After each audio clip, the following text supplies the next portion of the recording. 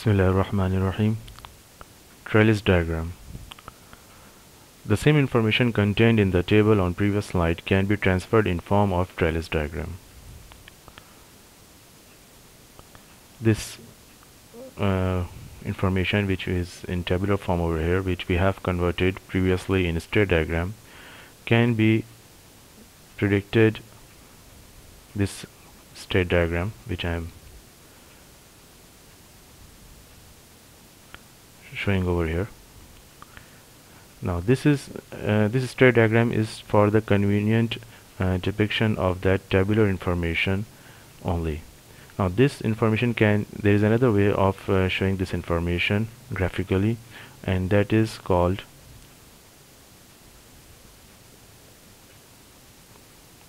trellis diagram. How this trellis diagram works let's see First of all, we write down the four possible states for 2, comma 1, comma 2 encoder. Then what we say is that we use dash line for uh,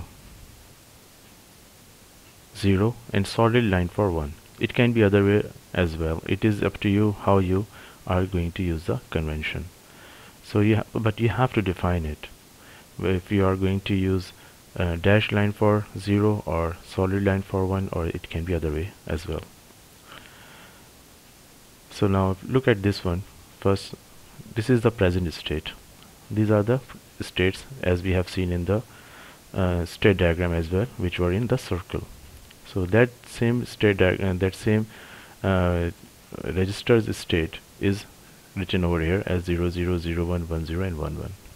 this is present state. Now what it says that if the input is 0 this dash line says that the input is 0 if the input is 0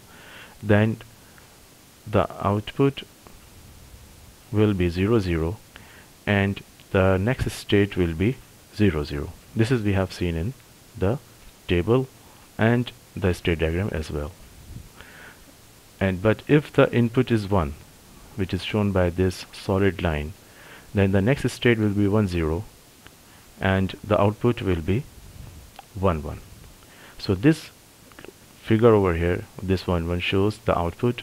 This 0 0 shows the output in case when this is 0 and this one is 1 and then this arrow shows the next state. It's a simple thing. Again I explain you that this one shows the output in case of uh, in case when the input is 1 0 and this 1 1 shows the output when the input is 1 and this arrow shows the next state from the present state.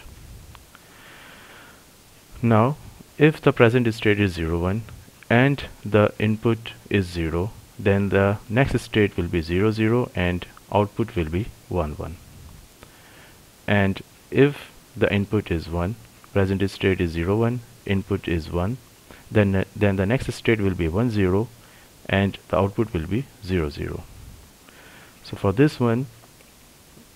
if the present state is 1 0 and the input bit is 0 then the next state will be 0 1 and the output will be 0 1 as well. And if the input bit is 1 and then the output will be 1 0 and next state will be 1 1 for 1 1 the next state will be 0 1 in case the input bit is 0 and output will be 1 0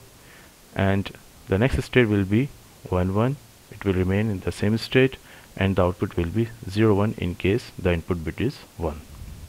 so the same thing which we have seen before in state diagram and uh, the tabular form is uh, shown or is uh, depicted using a trellis diagram. This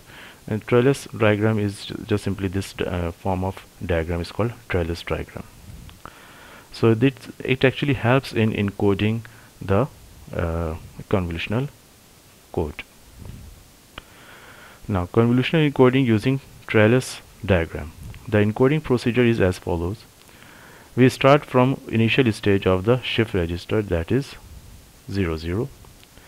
Depending on whether a 0 or 1 comes, we follow the upper or lower branch to the next node. the encoder output is read from the top of the branch being tra traversed. Again, depending on whether a 0 or 1 comes, we follow the upper or lower branch from the current node or state. Thus the encoding procedure is simply following the branches on the diagram and reading out the encoder outputs that are written on top of each branch. For example, suppose input bit stream is u is equal to 1101. Now encoding encode using trellis code. Two zeros are added to return the encoder to its zero state. Now there is an important point over here. The thing is that uh, for next encoding, as we said that the initial uh, state of uh, convolutional encoder must be 0 0 so whenever we complete encoding a bit stream we have to bring back the uh, state final state of the uh, registers to 0 0 in order uh, in order it to be ready or prepared for the next input stream. For next input stream the state of the uh, registers must be 0 0 so what we will do is that we will the total input will become 110100 so we know that if our as we we know that uh, at initial stage it is the input is always 0 0 so it would always start from 0 0 so from 0 0 if the input is 1 then from trellis diagram we know that the output will be at 1 0 and uh, sorry the next state will be 1 0 and output will be 1 1 and when we are at 1 0 the next input bit is 1 again from trellis tree we see we can see that if we go back that this 1 0 if we are at 1 0 and next input bit is 1 then the next state is 1 1 and the output will be 1 0 now this is the current state of our registers 1 1 and the next input bit is 0 when it is 0 then if and uh, we are if we, uh, the at we are at 1 1 or the values in uh, registers is 1 1 then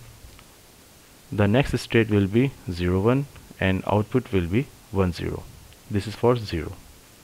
as you can see this dash line is showing that the input is 0 here we have input is 0 then the next input bit is 1 from this state if the input bit is 1 then the next state will be 1 0 and output will be 0 0 and here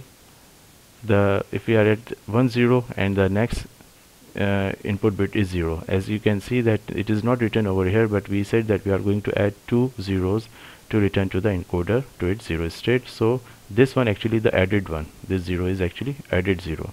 So this added when we add this zero at this stage then the uh, uh, st the state of the registers uh, next state of the registers is 0 1 and output is 0 1 and then from this state it goes to 0 0 as you can see it has come back to the 0 0 state or the value in the uh, registers is 0 0 and at the output the value is 1 1 so we will just write down this 1 1 1 0 1 0 0 0 0 1 here as 1 1 1 0 1 0 0 0 0 1 and 1 1